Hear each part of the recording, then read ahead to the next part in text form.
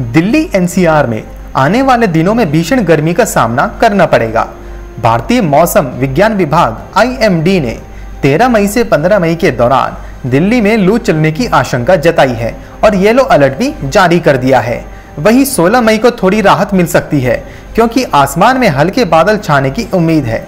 इससे पहले 11 और 12 मई को मौसम साफ़ रहने के साथ तेज धूप निकलेगी और अधिकतम तापमान 40 से 42 जबकि न्यूनतम तापमान 28 से 29 डिग्री सेल्सियस तक रह सकता है। इस दौरान गर्मी के सामान्य रहने की संभावना है।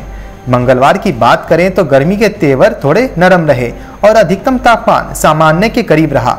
हालाँकि न्यूनतम तापमान सामान्य से अधिक ही दर्ज किया गया। दिल्ली में मंगलवार को न्यूनतम तापमान सामान्य से तीन डिग्री ज़्यादा 28 डिग्री और अधिकतम तापमान सामान्य के बराबर ही उनतालीस दशमलव पाँच डिग्री सेल्सियस रिकॉर्ड हुआ। हवा में नमी का स्तर 45 से इकसठ प्रतिशत तक रहा।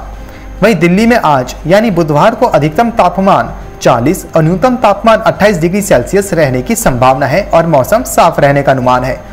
वहीं नोएडा की बात की जाए तो नोएडा में आज बुधवार को अधिकतम तापमान छियालीस दशमलव एक डिग्री सेल्सियस और न्यूनतम तापमान तैंतीस दशमलव आठ डिग्री सेल्सियस रहने का अनुमान है और मौसम साफ़ बना रहेगा। वहीं गुरुग्राम का अधिकतम तापमान तिरालीस और न्यूनतम तापमान उनतीस डिग्री रह सकता है और आसमान साफ़ रहेगा यहाँ भी।